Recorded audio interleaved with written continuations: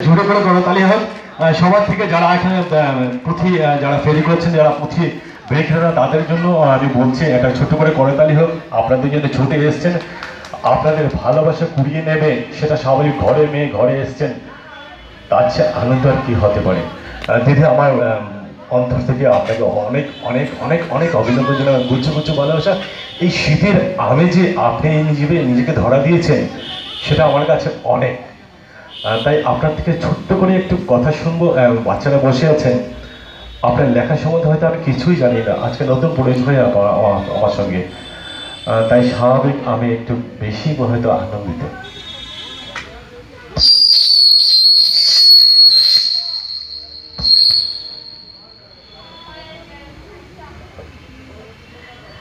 নমস্কার।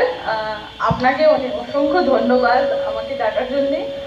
আর আমার প্রথম কাব্যগ্রন্থ মন্দংশন প্রকাশিত হয়েছিল চব্বিশ ডিসেম্বর দু হাজার তেরো, বন্ধু প্রকাশনী থেকে। তারপর দু হাজার পনেরোর ডিসেম্বর মাসে আমার দ্বিতীয় কাব্যগ্রন্থ প্রকাশিত হয় এই মঞ্চে। আর আমি নিজেকে যথেষ্ট ভাগ্যবান মনে করি যে আমার প্রথম কাব্যগ্রন্থ যখন প্রকাশিত হয়েছিল, তখন উপস্থিত ছিলেন পরিতোষ পাল চৌধুরী মহাশয় অতীন দাস মহাশয়, যারা বরাকের বরাকের আকাশের নক্ষত্ররা, ধ্রুব তারারা। আজ দু হাজার চোদ্দ থেকে আমি দিল্লিতে আছি।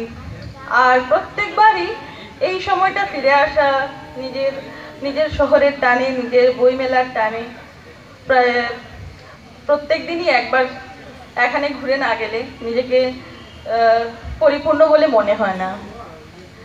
আজও এলাম, আর বাচ্চাদের পারফরমেন্স ভীষণ ভীষণ ভীষণ ভালো লাগল। আমি দিল্লিতে বর্তমানে বাচ্চাদেরকে শেখাচ্ছিও, তো সত্যি বলতে কি যে নিজের নিজের মাটির গানগুলো থেকে দূরে থাকার ব্যথাটা কোথাও একটা বাজে, সবসময়ই বাজে। এখানে এসে যখন সুন্দরী কমলা, কোথায় পেলে ভাই এমন রঙিন পাখা, মনে হলো যেমন নিজের শৈশবে ফিরে যাওয়া। তবে একটা জিনিস দেখে সত্যি আমারও ভীষণ দুঃখ হচ্ছে যে লোকের উপস্থিতি বড়ই কম। এত ভালো ভালো বই এখান থেকে প্রকাশিত হচ্ছে, বাইরে থেকেও এসছে। কিন্তু কেন জানি না, বই পড়ার সেই অভ্যেসটা কোথাও জানি একটা হারিয়ে যাচ্ছে।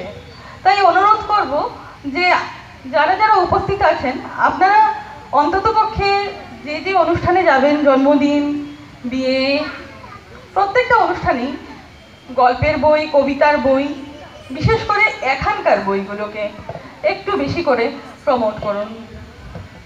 আসলেই যতক্ষণ আমরা আমাদের অস্তিত্বকে সবার সামনে ব্যক্ত করব না, হয়তোবা আমাদের জন্য আমাদের এই অস্তিত্বের লড়াইটা আরও আরও আরও কঠিন হয়ে উঠবে।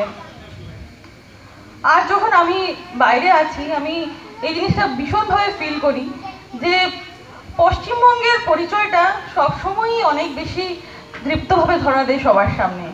লোকেরা জানেই না যে আসামেও একটা জায়গা আছে যেখানে আমরা বাংলায় কথা বলি, আমরা বাংলায় ভাবি, চিন্তা করি, গান গাই। সে বিষয়ে ধারণাই নেই। খুব সহজভাবে আসাম শুনলেই লোকে ভাবে বাংলার সাথে কোনো যোগাযোগ নেই।